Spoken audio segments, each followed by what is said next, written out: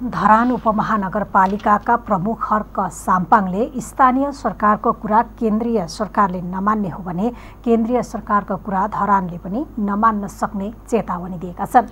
संविधान दिवसका दिन आयोजित कार्यक्रमलाई सम्बोधन गर्दै नगर प्रमुख साम्पाङले इलाका प्रहरी कार्यालय धरानका डिएसपी सक्षम असक्षम रहेको भन्दै सर्वका लागि गृह मन्त्रीलाई पत्र पठाए पनि सुनवाई नगरेको भन्दै एउटा सरकारको कुरा अर्को सरकारले नमान्ने हो भने भोलि धरानले अर्को सरकारको कुरा नमान्न सक्छ भनेका हुन्। इलाका प्रहरी कार्यालय धरानका प्रमुख प्रहरी नायब उपरीक्षक नवराज मल्लप्रति आक्रोशी बनेका साम्पाङले संविधान दिवसमा र्यालीमा सहभागी हुन इलाका प्रहरी कार्यालयलाई पत्र पठाए पनि सहभागी नभएको भन्दै आलोचना गरेका छन्।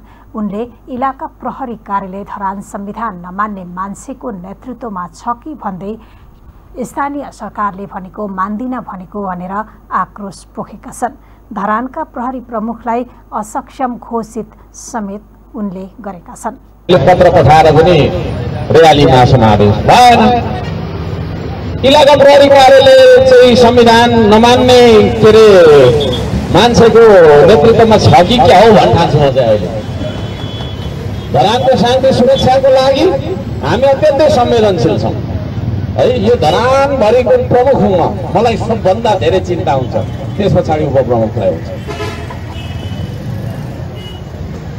हामीले पत्र काटेको छैन होइन यसको र्यालीको लागि भनेर छैन प्रशासनबाट गएको इलाका प्रहरी कार्यालय किन आज यहाँनिर चाहिँ र्यालीमा आयो? प्रहरीले संविधान मान्दिनँ भने हो?